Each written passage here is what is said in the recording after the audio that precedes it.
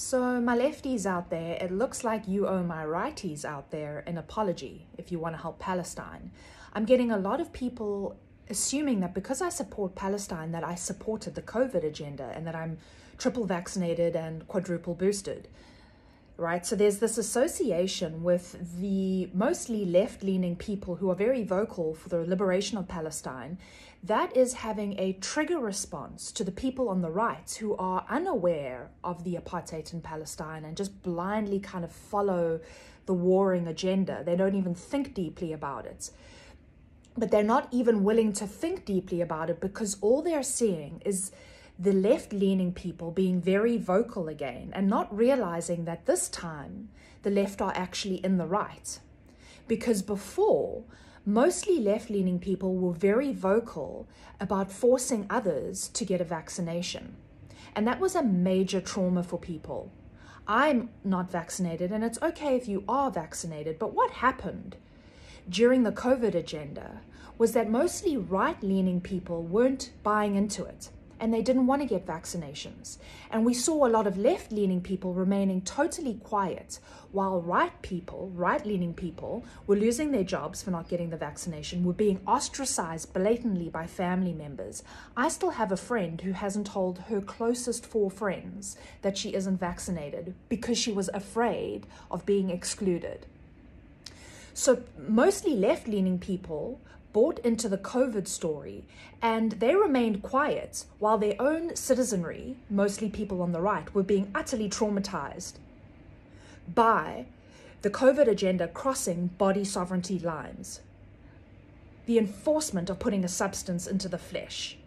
That was a major trauma for people. It was a major trauma for myself. So now we have a lot of left leaning people, rightfully this time, speaking for the liberation of Palestinians okay, because it's the counter narrative. The main media wants you to believe in the Israel story, just like the main media wanted you to believe in the COVID agenda, okay?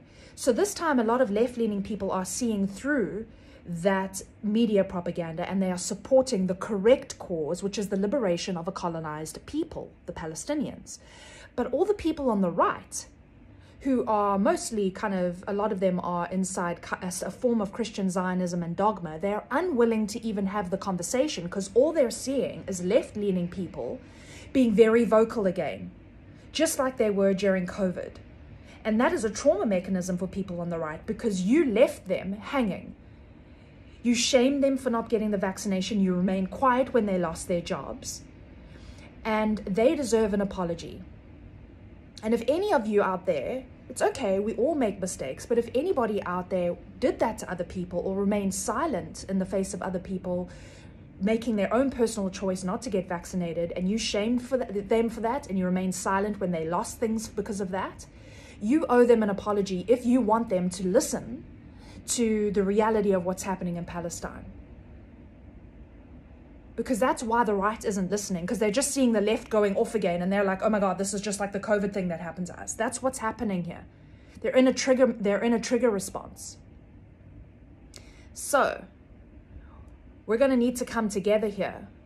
And any lefties or any righties but it's mostly lefties if you did that to any people you, they deserve an apology if you want them to hear about what's happening in palestine and oh yeah, just to reiterate that COVID was rolled out by Zionist Jews. You can scroll down uh, my feed and you can find the names of the highest ranking people in the whole COVID agenda, from the head of the CDC all the way through. Every aspect of COVID was rolled out by Zionist Jews.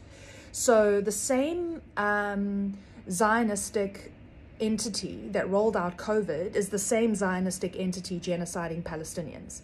So the people that were aware of the COVID uh, agenda it's, it's, no, it's okay if you weren't. It's fine. I'm just saying the same people behind that are the same people genociding Palestinians. It's the, the, the same entity, and they're keeping the American citizenry in opposition. So, oh, lefties uh, fell for the COVID thing and the right didn't. Now the right are falling for Israel's propaganda and the left aren't. But if you guys could just come together, together and realize both of these scenarios are Zionist Jews and one side uh, does, uh, owes the other side an apology.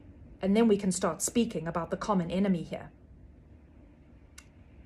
Okay.